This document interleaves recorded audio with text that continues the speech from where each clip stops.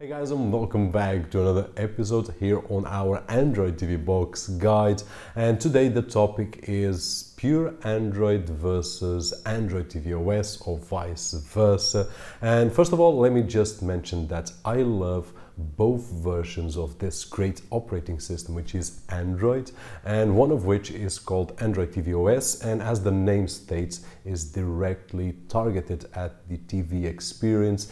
And the other is pure Android. And I'm doing this because there is no such thing as pure Android but we will discuss that on a further video. But this Android that I call so-called pure Android is what we find on tablets and on phones that it's ported to these boxes that we have been seeing. As I said, I love both of these versions of Android and I'm really glad to see them coexisting in these kind of devices uh, because both of them have advantages and disadvantages and at the end of the day the best experience for each one of us uh, will be decided by the way that we use these devices and of course uh, depending on this way we will have to decide if Android TV OS is better for us or pure Android. Now that being said, uh, really on a simplistic way, let me mention just a few advantages and disadvantages of both of them and starting with the Android TV OS,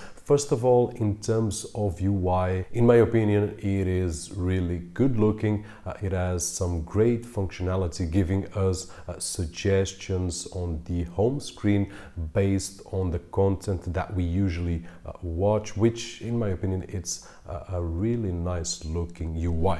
Now, for some of you guys, you might not like it and it has some disadvantages because although it's really nice, this UI, if there's something that we really don't like, there is not much room to change and to customize. So uh, there is only two ways here. Either we love it and we get one of those boxes or if we don't like that UI, then it's better to go to uh, pure Android because we can customize in other ways. Now, the second point that I would like to mention here is that it's really easy to use and it's especially because it's targeted at the TV. Now, when I mentioned that it's easy to use with any remote, uh, I can just browse up, down, sideways, and so on and so forth. So I can choose the app that I want to use. But at the same time, with this ease of use, there will be some limitations as well. Now, when I mean limitations, is that on Android TV OS, uh, it's really easy to use one uh, remote, even an infrared remote, because we can just choose those applications, those kind of applications that are targeted at the TV. But if we work around, and I will talk a little bit about that as well, and install apps that are not targeted to the Android TV OS, which we can do that, then the experience will not be as easy. And we will be a little bit more limited in the way that we use uh, the Android TV box. Now, still on this topic, the Play Store is limited, as I was mentioning just a few seconds ago, uh, regarding the way that we use the box, the way that we can't customize the main screen and so on and so forth. As it was built just for the TV experience, Google in this particular case just wants us to use the apps that are targeted at the TV. Now the Play Store, if you browse for, or if you search for a browser, which is a simple thing, uh, if any of you guys want to browse the web on an Android TV box with Android TV OS, there will be no results on the Play Store. So we will have to grab a APK file from an external website and then we will have to side load it, which is something that I already covered on some of my videos, but I also got a, a planned video for the future so that I can explain a little bit better about this. But nonetheless, guys, as you can see, and for those of you that are new to this world, is something a little bit more confusing. So my suggestion here, guys, is if you really are going to use only the apps for the TV, probably Android TV OS is the best option for you. If you are going to use, or if you think that you are going to use more apps uh, than those that are designed for the Android TV OS. And one example is a browser.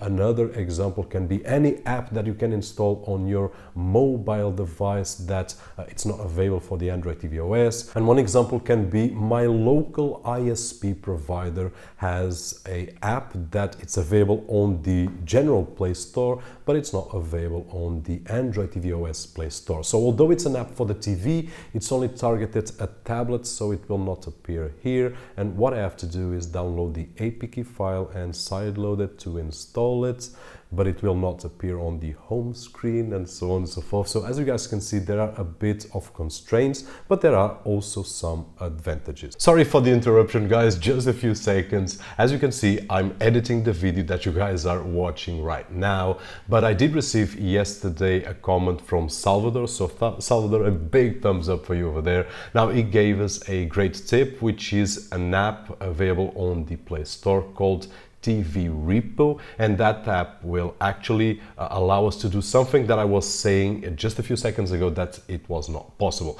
So what uh, this app will allow us to do is to create shortcuts on our home screen from apps that are not designed for the Android TV OS experience but uh, that we can sideload and then with this TV uh, app repo we can create those shortcuts and then get a little bit more of customization than I was stating. And of course Salvador also mentioned launchers but the launchers guys that I've tested in the past and I also tested right now are not there yet. All of them have a worse UI, in my opinion, of course. And besides not looking good, uh, one of the most annoying things is that when we press the home button, it will go back to our home screen, which is the launcher, uh, because we are using launchers as an app. So this is something that I didn't mention before, because to me it's useless. Sorry about that term, but it's useless. But the TV app repo, it's actually very, very useful. So thanks again, uh, Salvador, and hopefully this will help uh, some of you guys that are on the fence. And that being said, let's move on with the video. Now, that being said, guys, moving to the pure Android experience, as expected, it's roughly like having a tablet, which by the way, this doesn't have pure Android experience. This is a Xiaomi Mi Pad uh, 3 in this particular case, sorry about that. Uh, and this one has the MIUI. But let's forget about that, let's think about it as a pure Android TV box. Uh, this is basically a tablet uh, and like this it is a TV. So I can have my TV screen with these um, icons and so on and shortcuts and widgets and so on and so forth so uh, and I'll show you guys some images on screen if I haven't already uh, that we can customize uh, the way that we want our pure Android TV box and usually I use simple launchers designed for the tablets but when I place my shortcuts for the apps that I use on the home screen uh, with my weather widget and my clock widget and so on and so forth it gives a nice looking um, aspect to it. So in terms of customization, the pure Android experience will have uh, the advantage. Now, if you ask me, hey Robert, is it easy to use? Guys, I have to say yes. I use it since 2011, if I'm not mistaken, and it had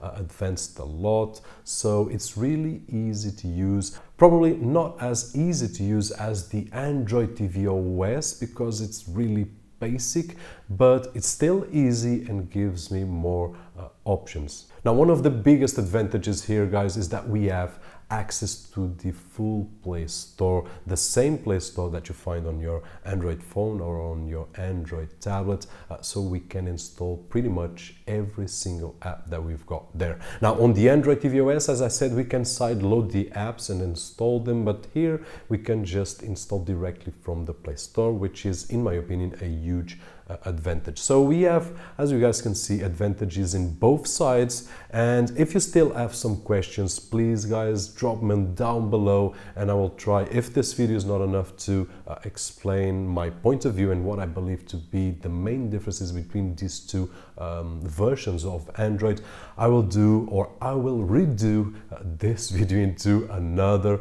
uh, so that we can um, take the questions out of the way. Now, that being said, hopefully this video will help in some way uh, to decide if Android TV OS it's the right version for you or pure Android experience. And by the way, if you are going for the Android TV OS, at this moment there are three machines, NVIDIA Shield 2016, NVIDIA Shield 2017 and the Mi Box 3, uh, three machines that I've reviewed here on the channel. I will leave some links down below. On the other hand, for those of you that are going for the pure Android experience, then there are a lot of machines, some better than others, that's true, and that's why we are doing this uh, guide. But um, there are a lot of options. I will also leave some links down below with some suggestions that you guys can uh, take a look at the individual reviews and so on and so forth, so that at the end of the day you can make an educated purchase and have the best experience possible. And that is it. We are going to close the video here.